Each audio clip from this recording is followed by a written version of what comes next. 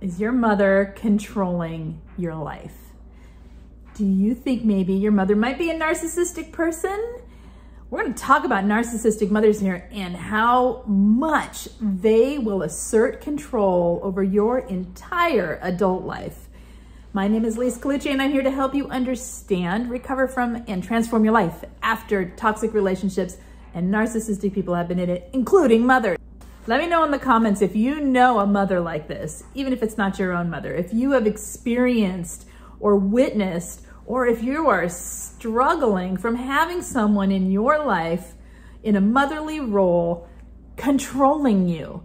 Let's look at some of the ways that narcissistic mothers control us, okay? I have talked to so many survivors and, and I have coached so many people who come to realize that some of the reason that they have normalized narcissism in their life and they have gone toward and felt at home, even though it's uncomfortable and painful, in relationships with narcissistic people who have then discovered that their mother was the source of it all. Their mother was the first person in their life who asserted narcissistic control.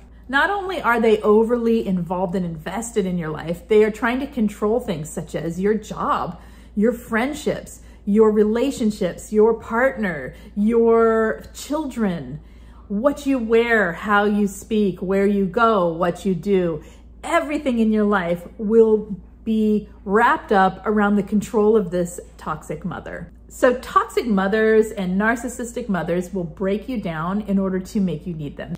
They will treat you in a way that makes you feel bad about yourself. And because it's your mother, there's this deep need in a lot of us to please, to make happy, to impress, to show our mothers that we're worth something, right? And because we shouldn't have to be continually doing this in our adult lives, right? Or even in our childhood lives. But with a narcissistic mother, that's the game they play. They want you to be constantly trying to please them, appease them, do for them, show up for them. And in the process, they're breaking you down. You didn't do it right. You didn't do it good enough. You weren't available. You're a bad child, a bad daughter, a bad son, whatever it is, right? Wh whoever you are to them. And through doing this, they're creating this drive and this need in you instead of going, fine, later, mom, right? We say, okay, what can I do better? I'm sorry, mom.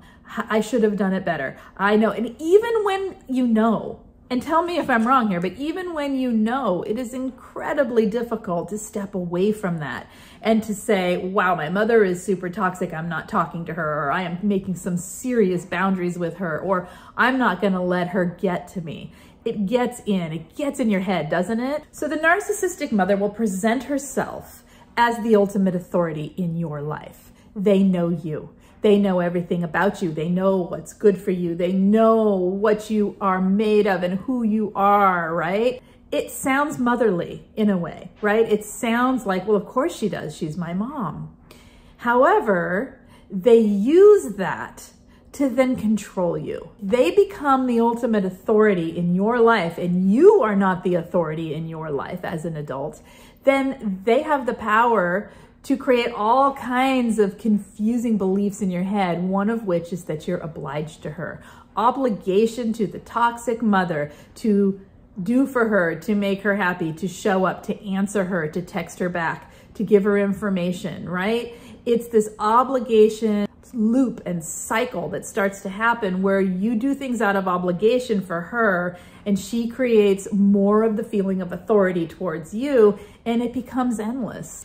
Narcissistic mothers love to triangulate. A lot of them will pull in your friends, pull in your siblings, pull in their husband or wife, anyone in your life that is someone you would care if they had an opinion of you. And they love to control that person too, feed them information that is smearing you or scapegoating you so that you have a whole lot of people that you care about telling you you're wrong. That triangulation becomes incredibly painful and totally isolating. So narcissistic mothers and shame.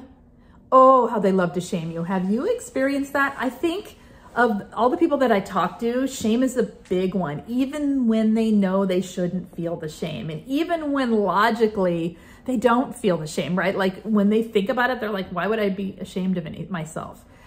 But it gets in there and it's when you're in a time of need. It's when you're in a moment where you need to pick yourself up or be there for yourself. That instead of being there for yourself, your internal voice says, shame on you. This is planted there on purpose by the toxic mother so that the only person you can turn to for relief is her. Her approval, her saying yes, her picking up the pieces for you, whatever it is and however she manipulates. Narcissistic mothers. Okay, you guys, are you starting to see how much control a narcissistic mother has over their adult children and how they're not going to stop any of this because this is the way they function as a mother? If this is something you relate to, hit the thumbs up. Narcissistic mothers will also nag you incessantly until you do things her way. Don't need to say a whole lot about that one, do I? Okay, sometimes people tell me stories about how their narcissistic mother spies on them, constantly sending in other people, you know, the flying monkeys of the family or fam family friends to gather information about them. And, and then the narcissistic mother can think a couple steps ahead of you because she's been paying attention to everything. She's been spying on your life. A really painful thing that people talk about this is something when in coaching with people who have experienced this, it can take some time and a lot of compassion to work through this piece. And that is the narcissistic mother loves to compare you to everybody else. So-and-so's daughter's doing so great. So-and-so's son's been married for five years. So-and-so's, and it's not even things in life that you would actually care about except for the way she says it. She says it in a way that suddenly makes you feel lesser than in your life, lesser than as a human being. What kind of mother does this? Well, a narcissistic one, that's what. You know, have you noticed how narcissistic mothers make everything about them? The whole world is about them. Well, I mean, they're no different than any other narcissist. It's just that when you are a child of a narcissist, an adult child who has some self-awareness and some understanding of psychology, you might think, how can a mother do this? That's not a mother. Well, you're right. They're not mothers. They are narcissists. And narcissists play roles in people's lives. They do not take on the responsibility of and actually deserve the title of the roles that they live.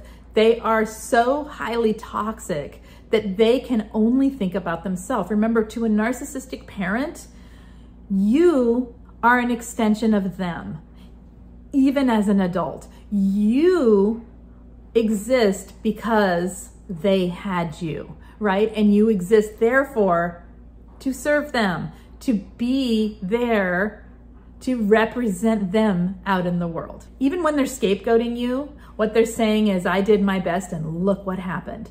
They are doing this. So they're turning things around to make you look bad but then they're saying they're innocent. So one thing I wanna say here that I hear a lot is the narcissistic mother, when she's making it all about her, will make it seem like it's about you. A common phrase, I lived my life for you. I gave up my life and my career and whatever for you. I did this for you right? To make it sound like you owe them something for the mere existence that you are in this world. And then pointing out what she does for you, all the things she does for you. I mean, if that's not a guilt trip, I don't know what is. They'll do this continually, continually pointing out everything you do for them and how you are not doing enough for her. If you have a narcissistic mother, you know, and you need some help, please check out the info in the main description of every video where there's info on coaching, group coaching, and peer support. So it can be useful to get the validation. I know how painful this is. This is what you grew up with. This is your mother. You're supposed to be able to turn to her for support, unconditional love, right? And being a person who has your back being a person that will tell you things, really tell you things in a healthy and loving way. with a narcissistic parent, you had none of that. I am so sorry that that was your upbringing and that that is what you experienced. And I know how incredibly painful that is for you.